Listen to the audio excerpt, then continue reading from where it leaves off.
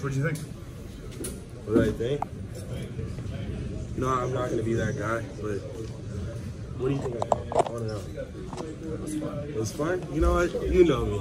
You know me. Yeah, it was. Uh, it was a lot of fun. Uh, first uh, NBA game. It wasn't silent count against the record, but it's the first one of hopefully many. And I'm glad I can get that one under my belt. Zion, were you, you've kind of made a name for yourself as this dunking machine in college. Were you glad to show off some other things in, in this game so that you could kind of show off that you're more of a well-rounded player and not just a highlight player?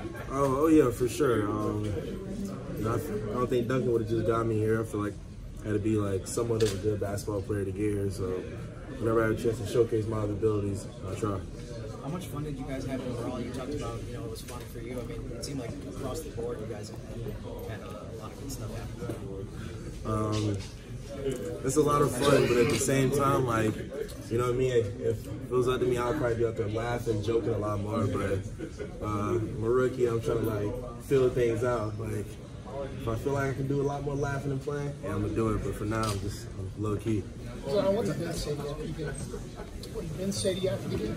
Um, no, just gave me some great advice. Um, I'm not gonna say everything he said, but he was just like, just continue to be myself, uh, keep having fun, and keep enjoying playing the game I love.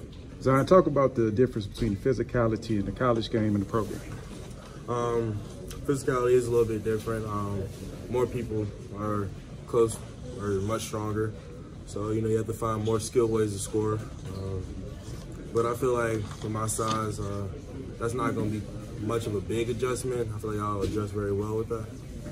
Zion, tonight you wore the Air Jordan 34s. Of course, you're gonna be wearing Jordan throughout your career. How do they feel tonight? And that's something we're gonna see you in all season, or are you gonna switch it up? Uh, you'll probably see me in all season. I might have a few switch ups, but they felt real com- comfortable. Um, I felt like I was moving uh, quick. Um, I was myself out there.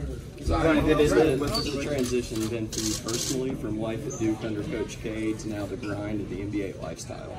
Uh, it's definitely different for sure. Um, you know, it's just uh, it's a different lifestyle. Like, you know, any moment, you know, you can get traded um, to another city, have to move. Um, yeah, so like you said, the grind's different. You gotta always find different ways to stay ahead of your opponent. Zion, With about everything first- that what you, about that first? that you expected it to be as your first game, or did it kind of live to what you imagined?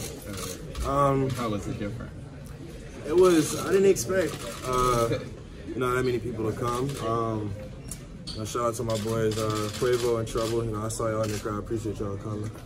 Um, but nah, it was. I didn't expect that much. I didn't. What did you like about the, the pace? It seemed like you guys were able to run a ton, and I know that plays into what you do really well. Uh, you know, Coach Gentry, all he talks about is uh, uh, fast pace and running. So, like you said, it plays well into my game. So whenever I have a chance to transition, I try to go. Hey, can you tell us about the first dunk over a seven footer, no, uh, no less?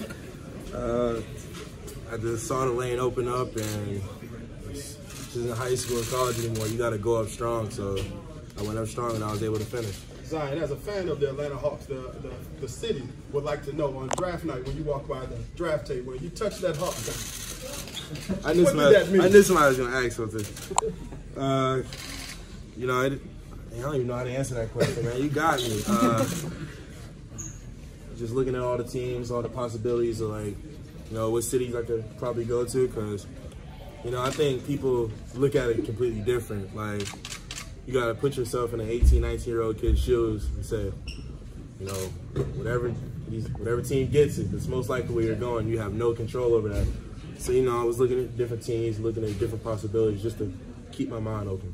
Zion, how much is the coaching staff talking to you about your three-point shot? Is it something that you're actively looking to work on, or is that something you're hoping just develops every time? Uh, a little bit of both. Uh, you know, still working on it, and you know, the coaches they give me full confidence uh, to shoot the three, so I will be shooting it a lot. Um, I feel like as the season goes on, it will keep getting better and better. Zion, we've been seeing you working a lot with Coach Spoonen during practice. He's a Hall of Famer. What advice, you know, as a former WNBA player, has she given you to really help you take your game to the next level? Um, you know, just she helps me with my ball handling, and you know, just it's the small things like when she tells me to be myself and have fun. It's those small things that keep me going. Zion, how did it feel to see Cam Reddish out there? Of course, your, your Duke teammate, your brother out there on our team playing for the Atlanta Hawks. How did it feel to see him on the court? Um, it was great. Uh, you know, it's crazy. Just a few months ago, we was in college together. You know, just chilling, having fun with each other, playing in games, and now we're we're pros. So it was a different feel for sure. But it was great seeing him. Thanks, Zion. Thank you guys.